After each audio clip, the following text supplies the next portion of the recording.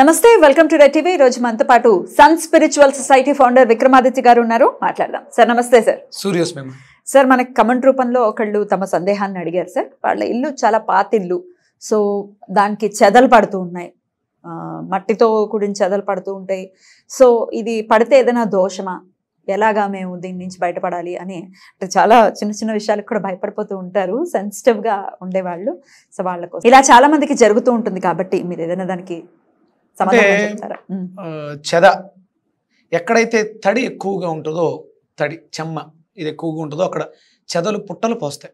అది కూడా మళ్ళీ అంటే డోర్స్కి మాత్రమే చెక్కకి మాత్రమే చెద వస్తుందండి లేకపోతే ఎక్కడైనా వస్తుందా? ఇంకా చెద అనేది గోడలను కూడా తినేస్తూ ఉంటుంది తలుపుల్ని తినేయడం చెక్క పచ్చి చెక్క ఎక్కువ ఆరుదల లేని చెక్క అయితే కంపల్సరీ డ్యామేజ్ అయిపోద్ది చెద దొల్లి డొలిచేస్తుంది అలాగే అంటే మనకి ముందు ఫస్ట్ ఇది ఎక్కడ పుడుతుంది అంటే భూమిలో పుడుతుంది.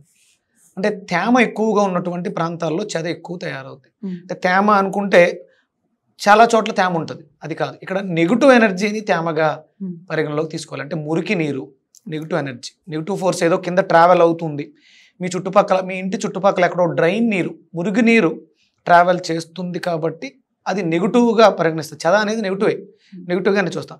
అంటే మనకి కొన్ని చోట్ల పుట్టలు పోసిన దగ్గర అంటే వాటర్ నిల్వలు ఉన్నాయని తెలుస్తూ ఉంటుంది. అది మంచినీరు. ఇక్కడ మనం ఇళ్ళలో చూసుకున్నప్పుడు జియోపతిక్ వాస్తులో దీన్ని నెగిటివ్ ఎనర్జీగా పరిగణలోకి తీసుకుంటారు. అది ఇబ్బంది పెడుతూ ఉంటారు. అంట్లో ఆ ఇంట్లో స్ట్రెస్ ఉంటుంది. స్ట్రెస్ అధికంగా ఉన్న చోట చెద ఎక్కువగా ఉండే అవకాశం ఉంటుంది. కాబట్టి అంటే ఇలాంటివి భయపడిపోమని కాదు. మనం అంటే కింద భూమిలో ఉన్నటువంటి మార్పులు మ్యాగ్నెటిక్స్ వాటిలో ఏదో మార్పులు జరగటం వల్ల ఇలాంటి నెగిటివ్ ఎనర్జీస్ వస్తూ ఉంటాయి. దీనికి ఈ జియోపతి వాస్తులో చాలా రెమెడీస్ ఉన్నాయి. చేసే వాళ్ళు చాలా మంది ఉన్నారు. ఆ స్ట్రెస్ లైన్స్ని కట్ చేయటం ఇలాంటివన్నీ చేస్తూ ఉంటారు. పర్ఫెక్ట్గా చేసేవాళ్ళు చాలా మంది ఉన్నారు. మనకి అంటే ఆన్లైన్లో వాటిని మనం మీరు సెట్ చేసుకోవచ్చు. అలాగే డోలన విద్య అని చెప్పేసి అని పెండులం ద్వారా స్కాన్ చేసి ఎక్కడ నెగిటివ్ ఉందో ఆ నెగిటివ్ ఉన్న ప్రాంతాన్ని గుర్తించి అక్కడ దైవికమైనటువంటి వస్తువులు అంటే పిరమిడ్స్ ప్లేస్ చేయడం ద్వారా ఈ చెదని నివారించుకోవచ్చు. ఇలాంటివి ఏమీ చేయలేము అనుకున్నప్పుడు ప్రతినిత్యము దైవ ఆరాధన విపరీతంగా చేస్తూ ఉంటే అక్కడ పాజిటివ్ ఎనర్జీ ప్రొడ్యూస్ అవుతూ ఉంటుంది Hmm. ఎప్పుడైతే పాజిటివ్ ఎనర్జీ ప్రొడ్యూస్ అవుతుందో ఈ చెద మీకు తగ్గుముఖం పడుతుంది అంటే మీరు ఎన్నిసార్లు క్లీన్ చేయించినా మళ్ళీ వస్తూ ఉంటుంది. అంటే మీరు ఈ పూజలు చేయండి చెదని కంట్రోల్ చేయండి అనేది కాదు ఉమ్. మీరు క్లీన్ చేసి మీ ఇంట్లో దైవారాధనని పెంచండి ఆ చెక్కని రీప్లేస్ ఇప్పుడు అంతా కూడా మార్బుల్ డోర్స్ కానీ మార్బుల్ గుమ్మాలు అంటే ఎక్కువ గుమ్మాలకి పడతాయి. ఉమ్. మందంగా ఉన్నటువంటి చెక్కని ఎక్కువ తినడానికి ఇష్టపడతాయి. తలుపులు కాదు కానీ గుమ్మాలు ఎక్కువ పాడైపోతాయి. ఉమ్. ఈ గుమ్మాలని అంటే ఇప్పుడు వేరే దారి లేదు. ఒరిజినల్గా అయితే చెక్కతో చేసినటువంటి సింహద్వారాలని పెట్టుకోవాలి. ఉమ్. కానీ ఇప్పుడు ఒరిజినల్గా మనకి Hmm. శాస్త్రంలో ఉంది సాంప్రదాయంలో ఉన్నది పూర్వం అంతా కూడా. చెక్కే తర్వాత సిమెంట్ వచ్చింది. ఇక వేరే ఏమీ లేదు ఒరిజినల్గా అయితే మనం శాస్త్రం ప్రకారం చూస్తే. ఇటుకని కాల్చడం అంటే మట్టిని. కాల్చి ఇటుకని తయారు చేయడం కూడా దోషం. అని చెప్పడం చాలా. పాపం కానీ ఇంకా మనం అంటే. తప్పదు. ఇప్పుడున్నటువంటి కర్మ కొన్ని కర్మలు చెయ్యాలి ఆ కర్మలకి పరిహారం కూడా చేసుకుంటూ వెళ్ళాలి నిత్య కర్మ అనేది చేయడం తప్పదు కాబట్టి సత్కర్మ కంపల్సరీ కూడా చేయాలి. అంటే ప్రతి సంవత్సరం ఏదైతే ఇంట్లో వాస్తు దోషం ఉందని భావిస్తున్నారో ఆ ఇంట్లో అంటే ఏదో గృహప్రవేశంలో వాస్తు హోమం చేయటం కాదు ప్రతి సంవత్సరం మీరు ఎప్పుడైతే ఏ గృహప్రవేశం చేశారో ఆ రోజును గుర్తుపెట్టుకుని ప్రతి సంవత్సరం కంపల్సరీ ఈ వాస్తు దోషాలు చేసుకుంటూ ఉండాలి వాస్తు హోమం వాస్తు. హోమం వాస్తు దోషాలకి పరిహారం. దోషం ఉంటుందని వచ్చాం. అది ప్రతి సంవత్సరం జరగాలి. ప్రతి ఇంట్లోనూ జరగాలి. ఎందుకంటే మనం ఏదో పెట్టే కొబ్బరికాయ హవిస్సు భగవంతుడికి చేరదు. దాన్ని మళ్ళీ మనమే వాడుకుంటాం. కానీ మీరు ఏదైతే అగ్నిముఖంగా హవిస్సుని అందజేస్తారో అది పితృదేవతలకి మనకి అశ్విని దేవతలకి. మనకి వెలుగునిస్తున్నటువంటి సూర్యనారాయణమూర్తికి అగ్నికి ఆహుతిగా వెళ్ళి తీసుకెళ్ళి ఇవ్వడం ద్వారా మనలో ఆశీర్వదింపబడతాం. ఏ ఇంట్లో అయితే ప్రతి సంవత్సరం అగ్నిహోత్రం జరుగుద్దో నిత్యాగ్నిహోత్రం జరుగుతూ ఉంటుందో హోమం జరుగుతూ ఉంటుందో యజ్ఞం జరుగుతూ ఉంటుందో. ఆ ఇంట్లో సకల దేవతలు కొలువై ఉంటారు. ఓకే. సార్ యాగం అన్నారు. సో మహాసౌర యాగం అంటే ఆ యాగం చేయాలి అంటే ఇది ఎంతో ఖర్చుతో కూడుకున్నది. అందరూ యాగం చేయలేరు కూడా. ఒకవేళ హోమం చేసుకుంటే ఎలా ఉంటుంది సార్? అంటే ఇలాంటి నెగిటివ్ ఎనర్జీస్ని పాలదొరలడానికి ఈ హోమాలు ఏమైనా పనిచేస్తాయంట? సౌరహోమం అద్భుతంగా అంటే వాస్తు దోషాలు లేకపోతే ఇంట్లో ఉన్నటువంటి నెగిటివ్ ఎనర్జీని ఏదైతే ఉందో దాన్ని పాజిటివ్గా మార్చేది మహాసౌర హోమం. ఇది రెగ్యులర్గా కంటిన్యూగా చేస్తే అంటే ఒక పక్షం రోజు యాగం అవుతుంది. కాకుండా అలా ప్రతి సంవత్సరం సంవత్సరానికి ఒక్కసారి మీరు పెట్టుకున్నప్పుడు వీలైతే. మాఘమాసంలో చేసుకోవచ్చు.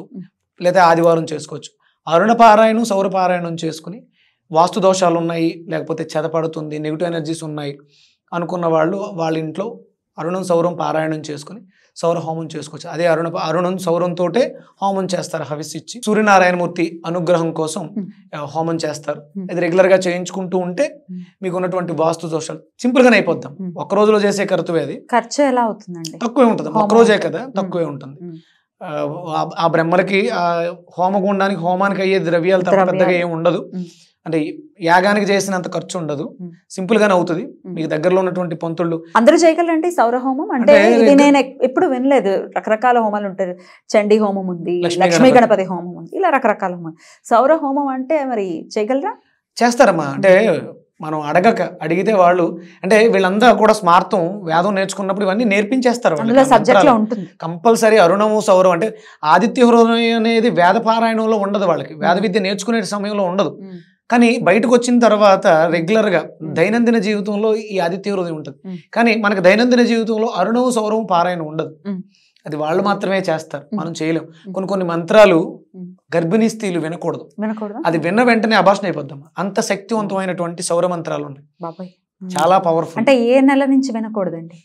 ఎప్పుడైనా సరే. ఎప్పుడైనా వినకూడదు. ప్రెగ్నెంట్ లేడీస్ ఉన్నప్పుడు ఆ మంత్రాన్ని వాళ్ళు అక్కడ చదవటం ఆపేసి లోపల చదువుకుని తర్వాత పెళ్ళి మిగతా పై అంటే మీరు పారాయణం చేయించుకునేటప్పుడు వాళ్ళ పైకి చదవరు. చదవకూడదు కొన్ని మంత్రాలు.